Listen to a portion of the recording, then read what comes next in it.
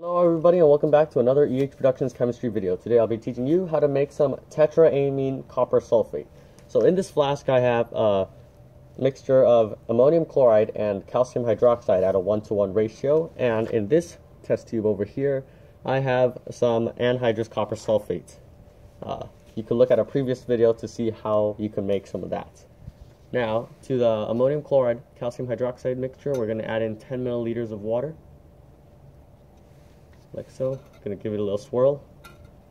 And now we're going to seal it up.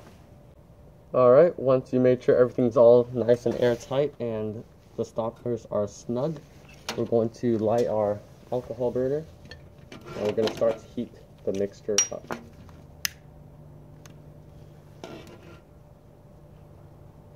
Alrighty.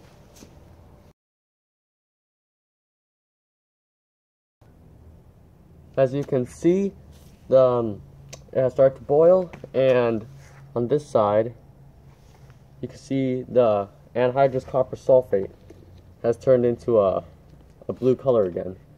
However, this is a different kind of blue. You can see that it has some purple in it now, as ammonia is being produced. Zoom into that really quickly. There you go. It is now a deep purple color uh, instead of the original blue copper sulfate color. It is quite peculiar actually. Anyways, there you go. That is how you make some tetraammine copper sulfate. Thanks for watching. Please subscribe, rate, and comment.